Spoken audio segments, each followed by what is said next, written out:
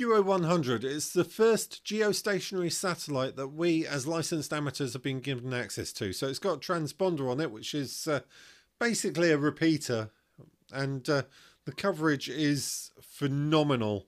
I'll show you a coverage map on the screen. It's downlink, so the frequency you receive on is between 10 and 11 gigahertz, and uplink, so the frequency you transmit on is about 2.4 gigahertz. So needs slightly specialist equipment to get into it, but it's not as difficult as you might think. And today I'm going to show you what I consider to be the easiest way, not necessarily the cheapest way, there's cheaper ways of doing this, but the most out of the box and simple way to get access to QO100. And for those of you with the attention span of a goldfish who won't bother watching the whole video, just get yourself one of these. It's a DX Patrol Ground Station Mark II. Now, before we look at the ground station in any great depth, let's talk about aerial requirements. So you need a satellite dish. I use a 90 centimeter dish, which I got online fairly cheap. Some people go bigger for 1.2 meter dish. Some people I've heard in the UK get away with using a 60 centimeter um, Sky TV dish and uh, put a perfectly decent signal into the uh, into the satellite. So you can get away with smaller dishes. I would go for 80 to 90 centimeter as a minimum. In terms of receive, you need an LNB. Now the ground station comes with an LNB, so you're set on that front. And uh, then you need your transmit aerial. Now, I started off with the DX Patrol Helix antenna. Brutally, honestly, I didn't get on very well with that. The signal was extremely weak into the box. Um, didn't really, uh, didn't really do it for me. So I tried one of these big spiral antennas, which uh, attach it to the side of the house. You end up looking a bit like a Dalek. Um, that worked better, but was still extremely weak. So I, I don't recommend either of those two suggestions. What I went was for the um, DX Patrol Helix high performance antenna. Uh, it's a bit more expensive, but it does seem to do the business. The only thing with it is the plastic is extremely flimsy, and you'll notice in the photo of mine it's got red electrical tape around it. That's because when I tried to push it onto the LNB, I actually cracked the plastic. So it is a little bit flimsy. The other option, with which is the one I would probably go for, to be honest, is um, this what they call the ice cream cone from Knoll Engineering in uh, Germany. It's uh, the plastic's a bit thicker. I've used this on my portable setup on my 60 centimeter dish and it works absolutely fine. So that, in my view, is probably your best option. Let's take a closer look at the DX Patrol Ground Station Mark II. So on the front panel, you have a power button, you have a rotary encoder knob for selecting and changing settings, and there is a display screen. There are six different displays you can select depending upon what you want to see. On this first display, you can see your power output and your SWR. This is also shown in bar graph form just below, the larger bar graph being the power output and the smaller bar graph being the SWR. You can select your intermediate frequency for the radio, so what frequency you want to transmit and receive. These are independently selectable. You can have 10 meters, 6 meters, 4 meters, 2 meters, 70 sems, or 1.2 gigahertz. All six of the selectable display screens show your receive transmit status. This will change to a red TX when you transmit. They show the clock, which is taken from your GPS time, and the lock status of your GPS. If your GPS is not locked in, this will show a flashing wait indicator. On the second screen, you can see your DC voltage being supplied to the unit, the temperature of your oscillator, and the amount of amps being drawn from your power supply. On receive, this works out just over half an amp, and on transmit, this rises to about 2.5 to 3 amps. So getting a meaningful amount of operating time from a battery whilst portable in the field is possible.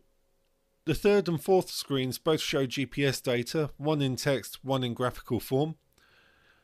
The fifth screen gives you more configuration options, including a beep and a Morse code option, both of which I turned off because I found them incredibly irritating and the final screen simply shows you your firmware version and the serial number of the unit. Moving on to the back of the unit, starting at the top left is your DC power supply. This is a standard barrel connector, one of which is supplied with the unit for you to connect to your power supply. The unit requires between 12 and 14 volts, so either a DC battery or your standard amateur radio power supply will suffice. The next connector across is your intermediate frequency transmit and receive. This is an SMA connector. This is where you connect your transmit radio. DX Patrol state an absolute maximum of 5 watts drive with a recommended optimum of 1 watt drive. So a QRP radio such as the ICOM 705 is an ideal radio for this.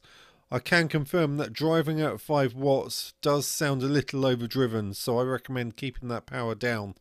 If you set your intermediate transmit and receive frequencies on the front panel to the same band, it is possible to use one radio for transmit and receive, much like you would a simplex contact. This is particularly useful if you're operating out in the field and are only carrying one radio.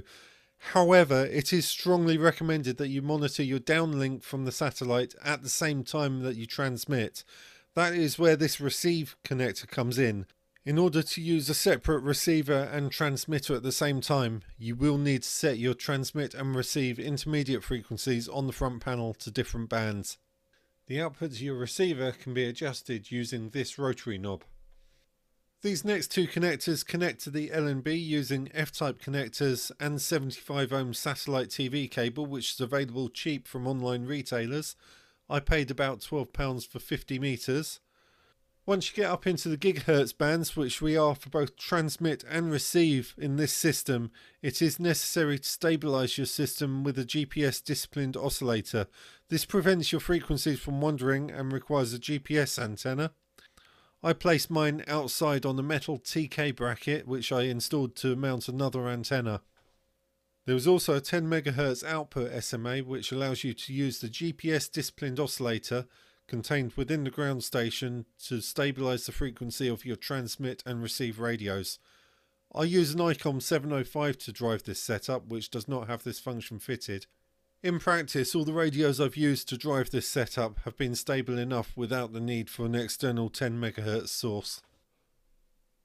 On the bottom row is a phono connector this sends the ground station into transmit mode when the center pin is shorted to ground. This can be driven by most radios with a PTT output. The ground station is fitted with an RF sensing circuit. This switches the unit into transmit mode when RF is sensed on the intermediate frequency TX-RX port. I found this to work pretty well on SSB, but on data modes where it's advisable to keep the power down low, I have found this to be a little temperamental. This rotary knob adjusts the Vox delay, so in other words, how long the unit stays in transmit mode after RF is dropped from the IF TXRX port. And the final connector is for our 2.4 GHz output to our transmit antenna. It's important to remember that coax losses at 2.4 GHz can be significant. I have 15 meters of Messi and Paoloni Ultraflex 7 which although good cable is not optimal for this application. I've done the maths, and by my reckoning, of the 10 watts coming out the back of the DX Patrol ground station, only around 3 watts are making it to the transmit antenna. While I was able to make some contacts and did have some fun on FT8, this needs a little bit of a rethink. For this following test I used the Flex 6600 as a receiver and transmitted on the ICOM 705. You will notice that my signal is quite a bit weaker than some of the other stations using the satellite. Charlie, Quebec Charlie,